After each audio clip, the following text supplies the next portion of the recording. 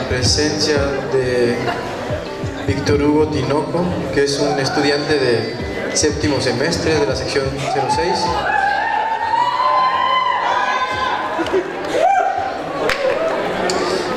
Y él tiene una declamación que se llama Amistad y les va a platicar acerca de... Es una declamación propia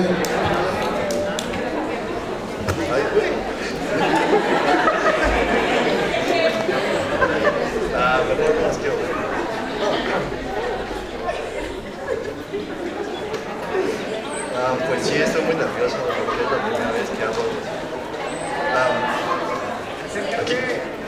Ah, ¿verdad? Aquí. Ah, es que sé. Así. ¿Así escucha chido? ¿Sí? Aquí. Así. Va.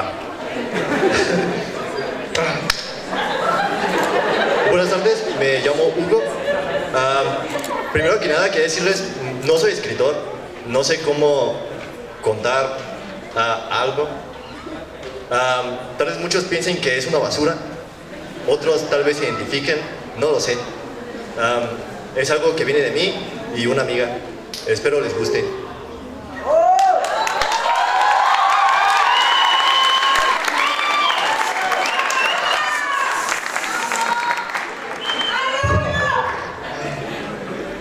Amistad.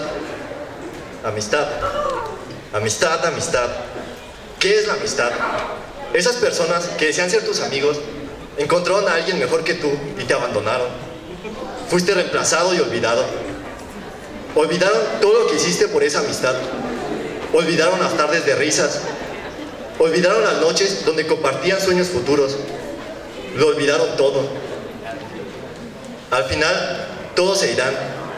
Familia, amigos, personas que alguna vez te dijeron, te quiero, ahora están con otros y a ti te han dejado atrás. Lo único que te mueve es la esperanza de encontrar personas que no lo hagan, aún sabiendo que esas personas no existen, porque para final del día, a ti solo te importas tú y a mí solo me importo yo. Aquí existen muertes pequeñas, grandes y medianas. No temo a la catástrofe, temo a la verdad oculta, temo al contacto y a la cercanía. Tengo un miedo sutil que me circula cuando no hay nada en mi cabeza, ni frente a mis ojos, ni repicoteando en mis oídos. Y sí, soy frágil, soy como un pilar de sal, soy la cadera rota, soy el punto débil de mi punto débil. Aunque me sepulte el terremoto y me ahogue en las manos del asesino y mi cuerpo defectuoso muera en la plancha del cirujano, a lo único que temo seriamente es al vacío que hay en mí. Gracias.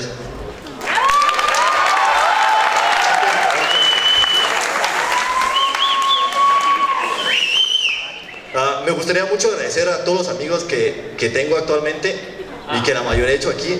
Ah, muchas gracias por ustedes seguir ahí y, y ayudarme a seguir adelante. Todos y cada uno de ustedes son los mejores. Muchas gracias.